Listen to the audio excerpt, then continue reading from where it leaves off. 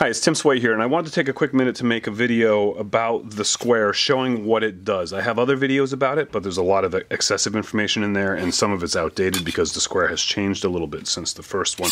So this is basically just for my, my website, which is timsway.net slash SqWAYre, S-Q-W-A-Y-R-E, um, to show all the features. Now, the SqWAYre is a multi-tool. It's primarily a, a layout and measuring tool. It does not replace this square and it does not replace this square. It's a tool you can grab instead of those sometimes, but those are still pretty important and they have differences. The main one being that they have a lip on them. I end up using this as a simple ruler for laying stuff out most of the time. That's where I find its primary value. I have it with me everywhere I go. This is so much easier than a ruler, which is bigger, or uh, you know a tape measure, which is flimsy get really accurate measurements with this. But I find myself using this in a lot of different ways to measure. One way I, it comes in real handy is if I want to set the depth of my table saw blade for like a dado or something, uh, I can put this right on my table saw and set that blade. Uh, as well as the router table and on the CNC machine it comes in handy for measuring your depth from the wasteboard or the, the surface. It's also great for if you wanted to set like on your, your table saw crosscut sled setting distances for you know, measuring and doing repetitive cuts, setting stop blocks and stuff. It's just a very convenient, easy way to do all of that. Also on paper and drawing and planning or sketching out cuts and stuff as well. This was laser cut with uh, the machines that it was cut on. The accuracy is to within four one thousandths of an inch. So that's pretty much accurate enough for everything I'm ever going to do. I don't know about you. Not bad.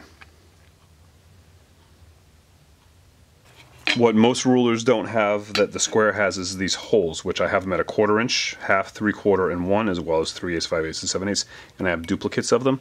And that's for finding lines real easy. If you say you wanted to bisect a, this piece of wood, we can put it down, line it up, and we can see that it is, we're going to call it one inch. It's a little bit shy of one inch.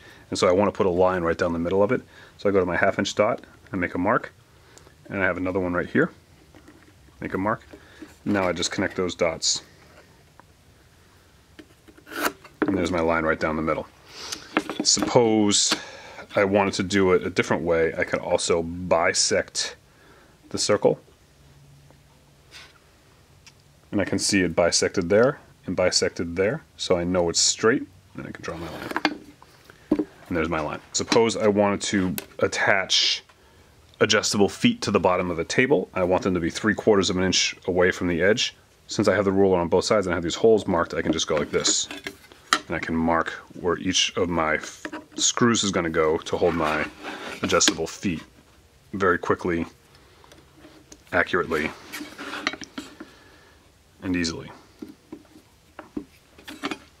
Things like that is where I really find myself using the SqWAYre. Quick markers, quick references, quick measurements, I have one always nearby, always laying on the table. Because it's flat, so it's hard to pick up, so you slide to the edge. These holes here are a protractor. I put I did it in, in, five degrees. I couldn't get every step you need. Again, it doesn't replace a protractor. It's a quick protractor for when you need one.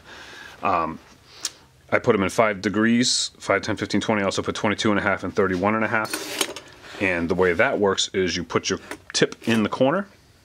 Suppose I want to make a 22 and a half degree cut. I go to my 22 and a half degree hole, I put a little mark there, and then I just spin this down and measure from the corner to the dot. Oops. And there's my 22 and a half degrees. Suppose I wanted to go beyond 45 degrees. This is my 45 degree line right here, obviously. I can put the SqWAYre on that. And now I have 50, 55, 60. I also put along this top edge some quick references. Uh, this is three quarters of an inch long. Inside here is an inch. This is a half inch here. And these are all 1 8 inch intervals, which can come in handy sometimes, right from the center. Pretty cool. This ink has been baked on, so it is acetone safe. If you spill acetone, you can clean it with acetone. Besides the protractor, there's also a compass built in, and you can make circles. So each of these holes is a half inch apart. So this one would give you a one inch circle, one and a half inch circle, two inch circle, etc all the way up to, well, I ran out of wood there, but five and a half inches apart, giving you an 11 inch, an 11 inch circle. The other thing I did is I put this rounded edge on it. If you want to sand in your corners, you have a quick reference there. It's a half inch radius. You could also, of course, use that circle feature. I can get radiuses that way as well. You can actually use this as a saw if you wanted to get something started. Don't this this tip can be used as an awl.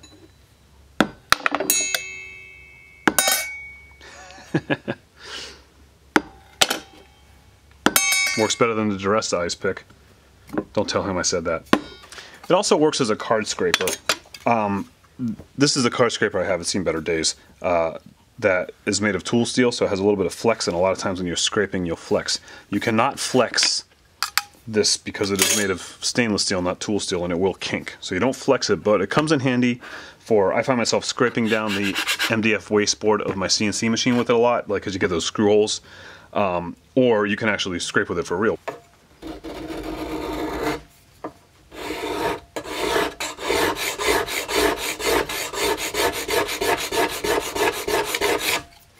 Also use this for quick checks, checking measurements. If you want to make a dowel, I would recommend flipping it upside down. So, because the ink will wear if it gets heated up too much from the friction of the spinning wood, if you could wear that ink away a little bit. So just do it upside down. I have this piece of ebony here. I'm going to make a little tiny eighth inch ebony dowel with it. So you can see this is tapered but I need to taper the tip just a little bit more.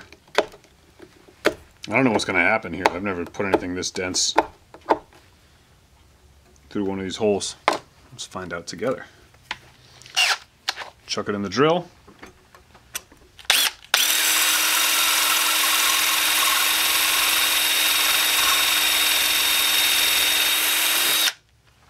Oh, look at that. That's pretty cool.